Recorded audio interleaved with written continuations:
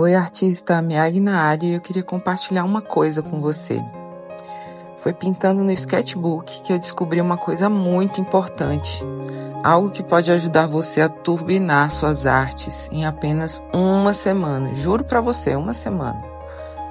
É o seguinte: quanto menos compromisso com o resultado você tiver na hora de aquarelar, melhor sua aquarela vai ficar.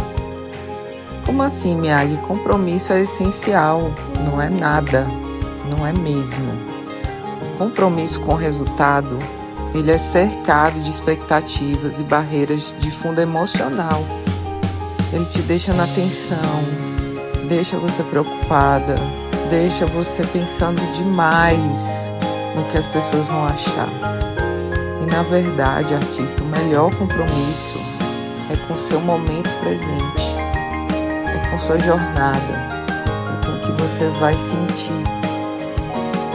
E é isso que vai tornar sua arte cada vez melhor. Se você se comprometer com o momento presente, com a sua jornada, com você e com o que você gosta.